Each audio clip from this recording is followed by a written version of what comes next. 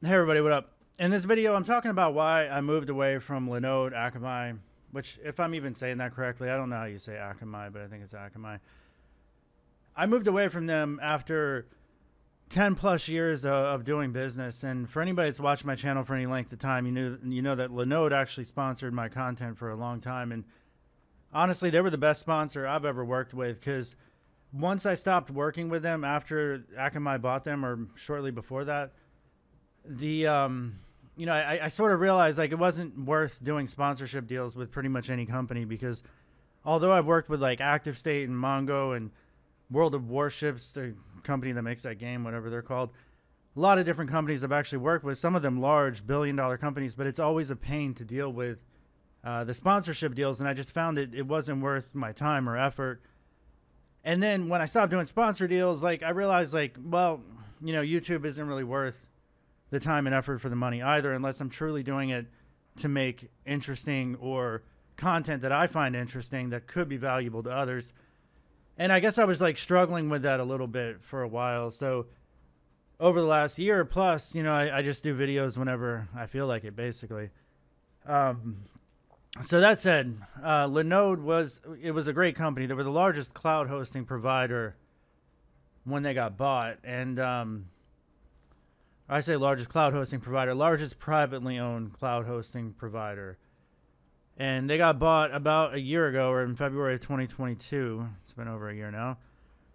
And um, yeah, they were purchased for 900 million. So it was actually pretty cool when I was working with them. They were very easy to deal with when it came to a sponsorship deal. They're just like, "Hey, do what you're doing, keep doing, you know, keep showing this ad and we'll write you a check every month," which was great other sponsors, there's like a whole lot of back and forth, and it's just like like I said, it's just not worth it for the most part. So yeah, you can see they got bought by um, Akamai for 900 million. So as soon as they get bought, right, the website changes. It was really weird to see Linode go away. Like I have Linode uh, stuff all over my house. Actually, like they they've sent me like T-shirts and and chargers and USB drives and like all these different things. Uh, that they had. So I had a lot of swag from Linode. I actually really appreciated that company for a long time. But soon as I Akamai my bottom, they jacked up the price 20%.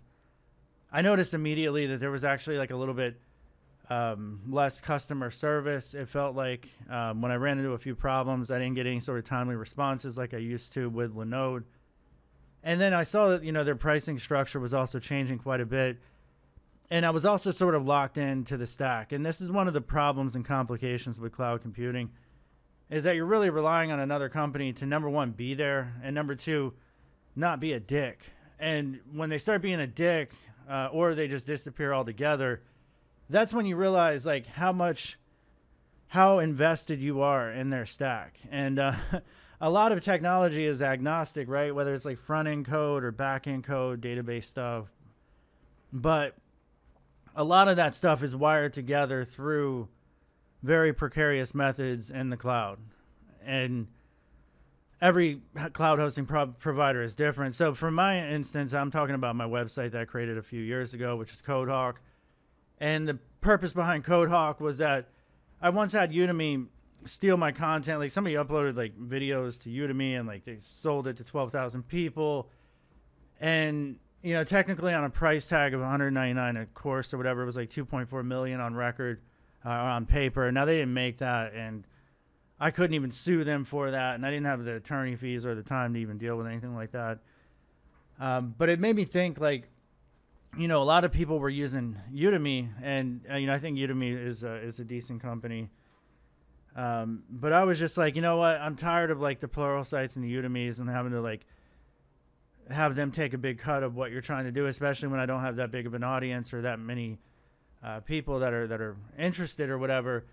I just wanted to create my own platform. So mainly when I do these types of things, it's actually to learn and become a better developer myself. Because everything I've ever done, when, when I talk about my own personal endeavors for side projects, uh, or the company that I've run, or uh, any of that stuff, has always actually like helped me in my career. It's like I've always said, build projects, right? When you build a project, even like CodeHawke, which you know, let's be, let's be honest, it's not that sophisticated. It's not the net, next Netflix, but I am streaming video behind authentication.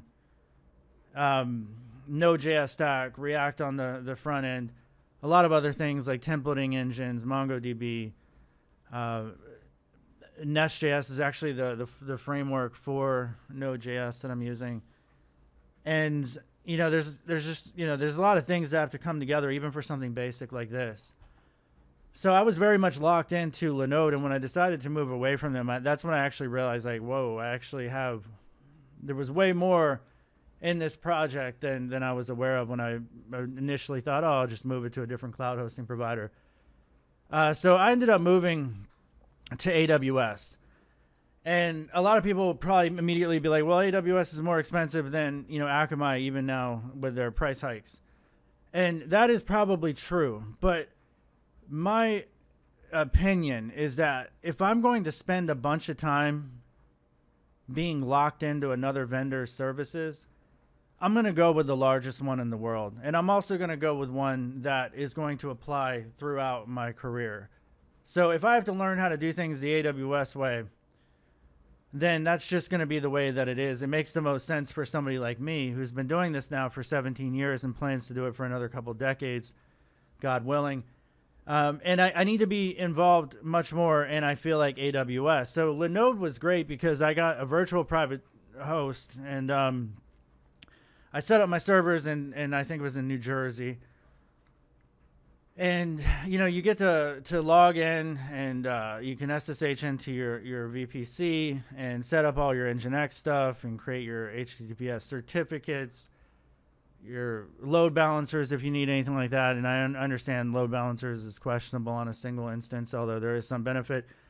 Um, but all that stuff, um, you know, you had the the ability to do it yourself. And when I moved to Linode, I was like, oh well, this is much cheaper than AWS or Azure at the time uh, if Azure was even around, I don't even remember honestly. I know AWS was, and Google Cloud Platform or Google whatever they used to call it. Um, they used to call it Google App Engine actually, and that thing was a disaster. And I so I moved from that to like shared host, and I looked at Heroku and all these other different companies. And when I found Linode, I was like, this is it. This is awesome. This gives me the ability to do whatever it is I want to do. And they were great all this time, but then I guess where I I find the differences between Linode and AWS is that AWS's documentation is a nightmare. However, so is Linode's. And so is pretty much any documentation when you're looking at like Stack Overflow or even asking ChatGPT about obscure errors that you're receiving, whether in the cloud or some sort of software that you're trying to install or some server that's not listening on the right port or some load balancer that's like doesn't have the right DNS settings or any of these things that, that occur, it's going to be a nightmare wherever you go.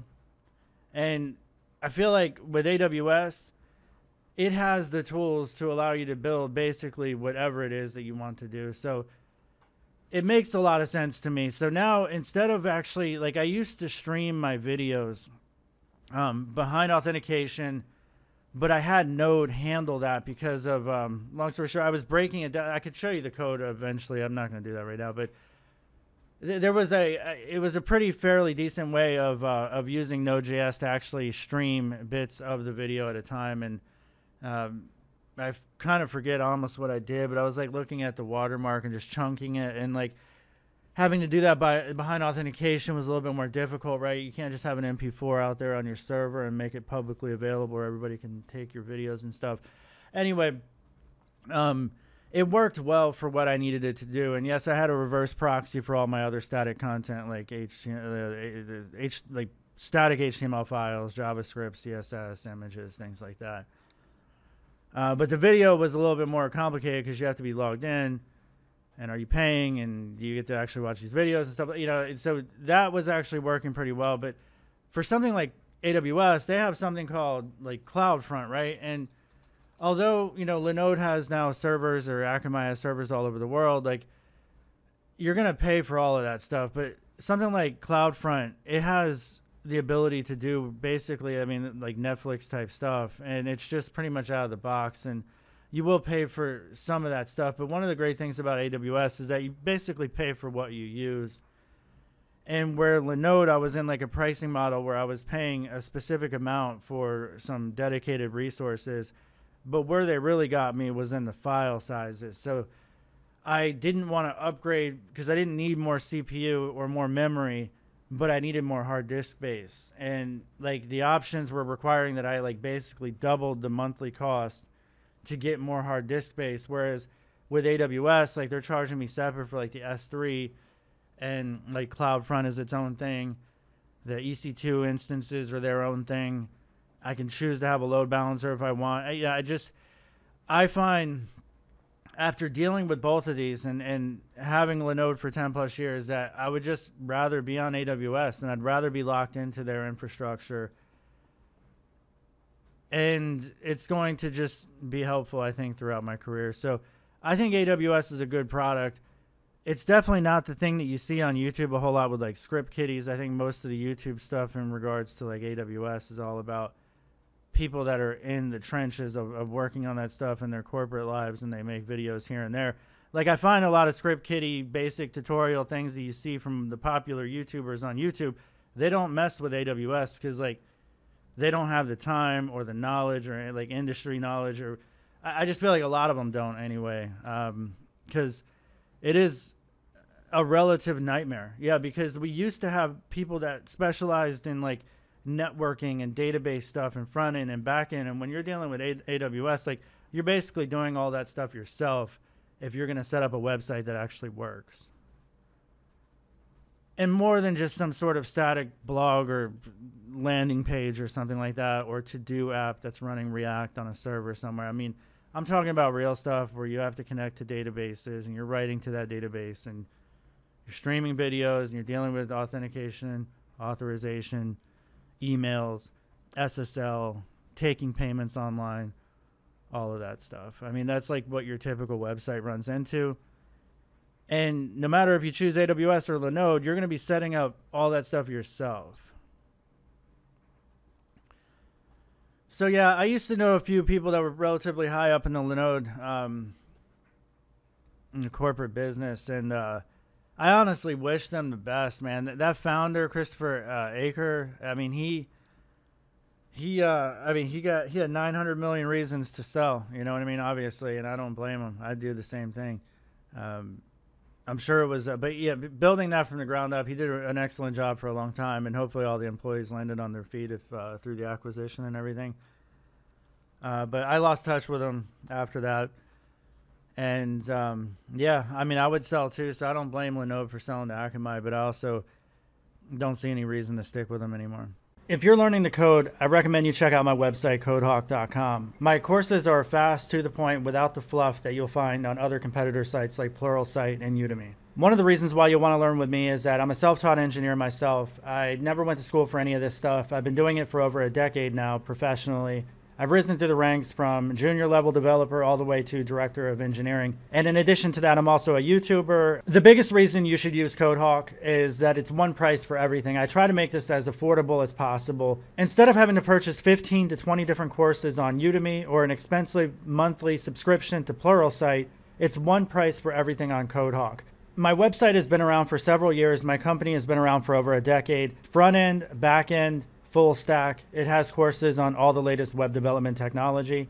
There's currently over 40 courses on CodeHawke, and I'm releasing more courses all the time. The courses range from beginner to advanced. So if you want to learn the latest web technology, give CodeHawke a look. There's demos for all of the courses that are out there right now. Uh, in addition, there's also my personal vlogs, which I'll be adding more to. So content that I don't release to YouTube is available on CodeHawke.